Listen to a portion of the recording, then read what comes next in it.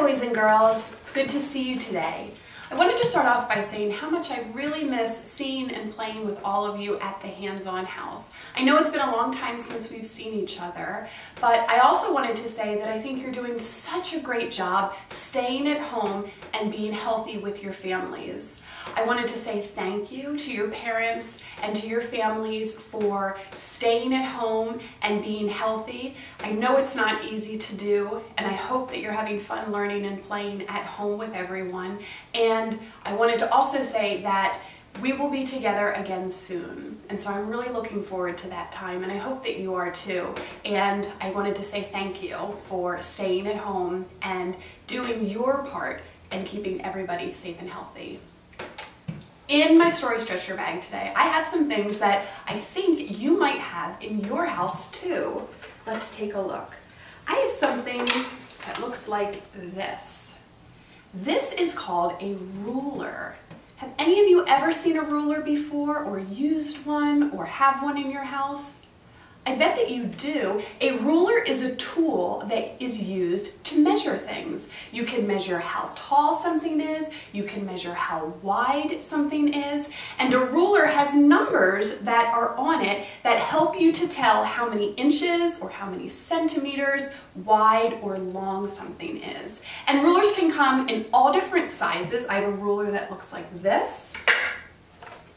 I have a little itty bitty ruler. There's some rulers that are small and there's either and even some rulers that are pretty big. I have something that looks like this. This is called a yardstick and a yardstick is another kind of measuring tool. It has numbers and it measures. So this is a type of ruler too. Another kind of ruler that I also have that you might have somewhere in your house is a measuring tape. And this is one that's perfect for kids your age to play with. And a measuring tape is a ruler. You pull it out and it has all of the numbers on it and you can use it to measure. So today we're gonna read a story about measuring and then we're gonna do a little bit of measuring together and then maybe you can do some measuring on your own at your house. The story that I want to share with you is called Inch by Inch. It's written and illustrated by Leo Lionni, and it's such a sweet story about a little inchworm. And an inchworm is a little, it's actually a caterpillar. Inchworms are types of caterpillars. They're not really worms, but you probably have seen them this time of the year. They're really itty bitty and they sort of inch along and move. And in this story, we're gonna see how this inchworm is able to measure things with his body and also use his smarts to kind of get him out of some trouble. So I can't wait to read the story to you and then I'll show you some measuring that you can try on your own. Inch by Inch by Leo Lionni.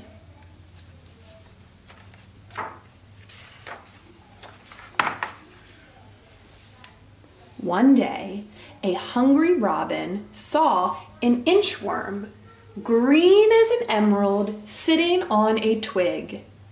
He was about to gobble him up.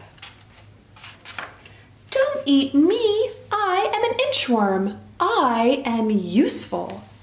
I measure things. Is that so? said the robin. Then measure my tail. That's easy, said the inchworm. One, two, three, four, five inches. See, she just inched herself along that tail. Just think, said the robin, my tail is five inches long. And with the inchworm, he flew to where other birds needed to be measured. The inchworm measured the neck of the flamingo. You can see her inching along this long pink neck. He measured the toucan's beak. The legs of the heron. The tail of the pheasant, and the whole hummingbird. The hummingbird wasn't quite as big, was she? So she didn't take quite as long to measure. One morning, the nightingale met the inchworm. Measure my song, said the nightingale. But how can I do that? Said the inchworm. I measure things, not songs. Measure my song or I'll eat you for breakfast, said the nightingale. Then the inchworm had an idea. I'll try, he said. Go ahead and sing. What do you think the inchworm's going to do? The nightingale sang, and the inchworm measured away. So there's the inchworm going down the blade of grass. Do you think the inchworm is measuring the song? He measured and measured. There he is. Inch by inch until he inched out of sight.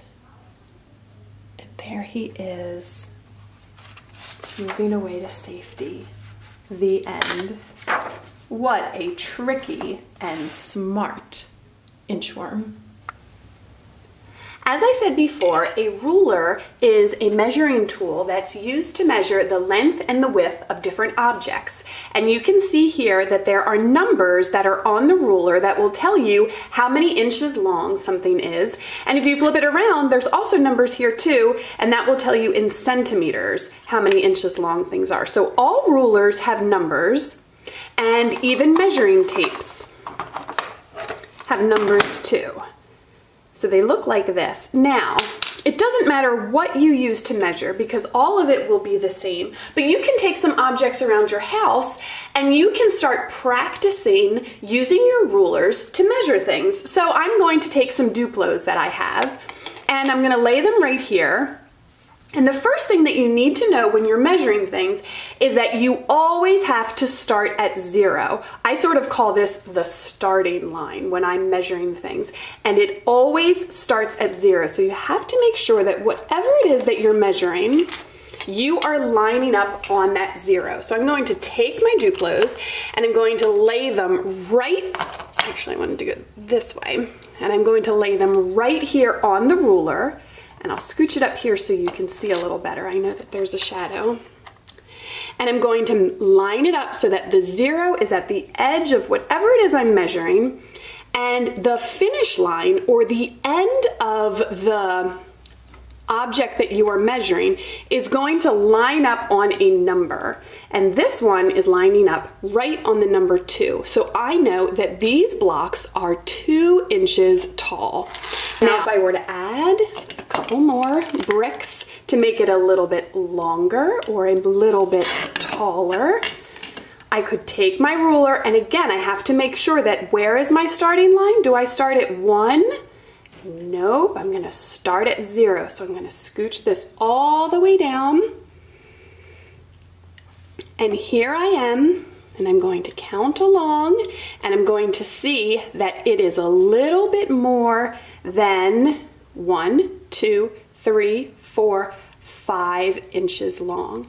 And if I were to take my measuring tape, I would find that it is still a little bit more than five inches for all of these Duplos. So let's take a look at our story inch by inch and let's use our ruler or other types of measurement in order to see how long some things are in the story.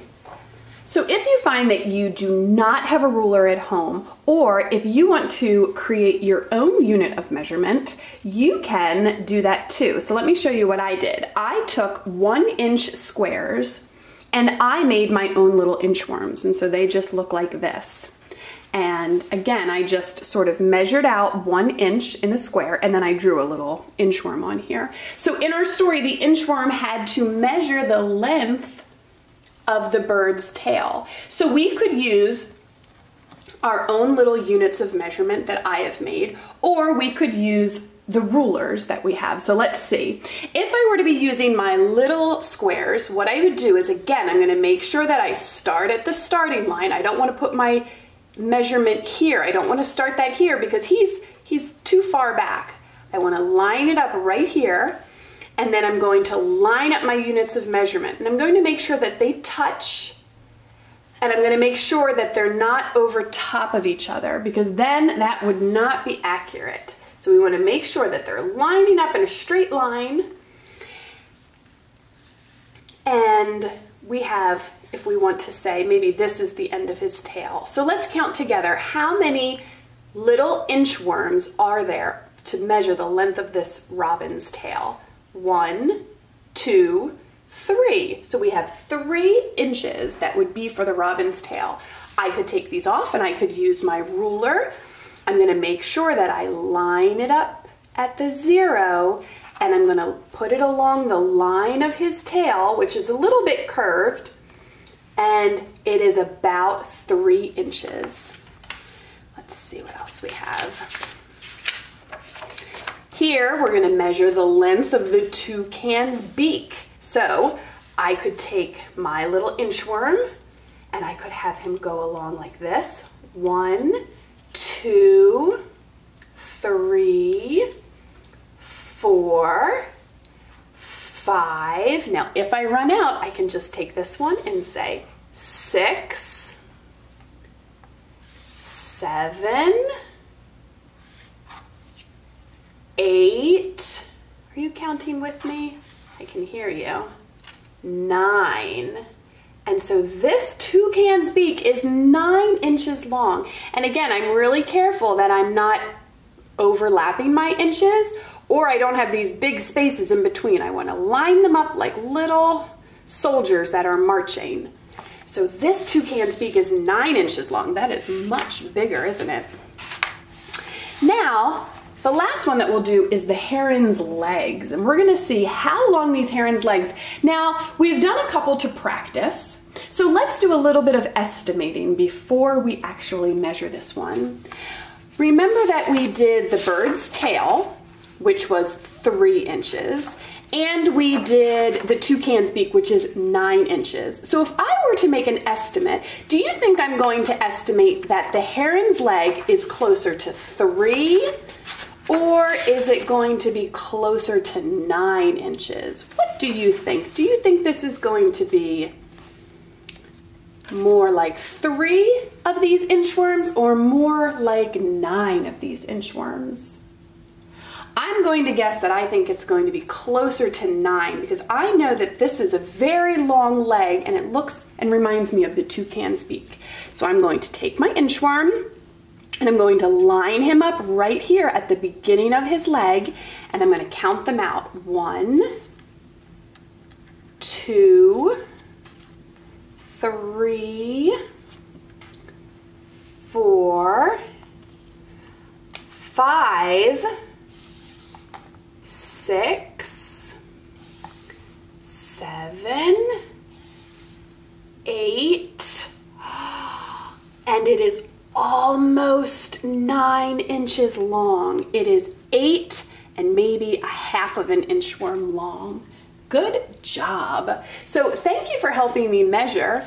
Remember, if you're going to try and practice measuring some things around your house, it's a lot of fun. You can practice with your toys, you could build with Legos or Duplos or blocks, you could measure your hands, you can even use books and you can measure how long they are. Just remember, that you're always going to start at zero, start at that starting line, line it up, and count along with your numbers to see how long or how wide something is.